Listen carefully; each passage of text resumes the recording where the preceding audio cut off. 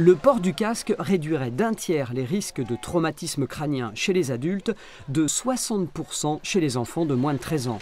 Un risque de traumatisme d'ailleurs trois fois plus important pour ce jeune public lors d'une collision sur les pistes. L'hiver dernier encore, un parlementaire, la sénatrice Patricia Schillinger, interpellait le ministre des Sports sur l'obligation de port du casque, au moins pour les enfants, comme en Autriche, en Italie, en Espagne, aux États-Unis, au Canada.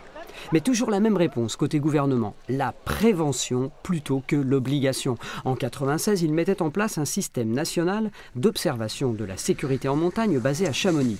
Son rapport pour l'hiver dernier recense plus de 41 000 blessés, mais c'est un chiffre en baisse, moins 4 738 par rapport à la saison précédente. De plus, les collisions ne représentent que 5,63% du total des blessés. Le ministre souligne donc le succès de la prévention.